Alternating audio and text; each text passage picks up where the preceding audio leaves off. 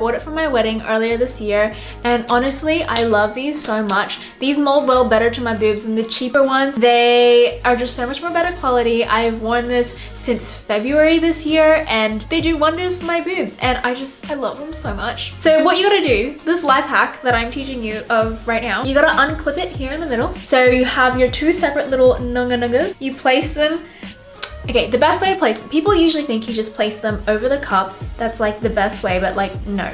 Girl, just, just wait. What you gotta do is you place it like right underneath your boob, like so. You place the other one right underneath your boob and you've got to like clip it inwards. This is what is gonna give you the full and maximum efficiency. This is so weird, but like, um, it pretty much comes like this. And if you can tell, like when you really like push it together, it'll really squeeze your boobs together. And that's what makes it more flattering in lots of different outfits and stuff. And it's a trick that I use all the time.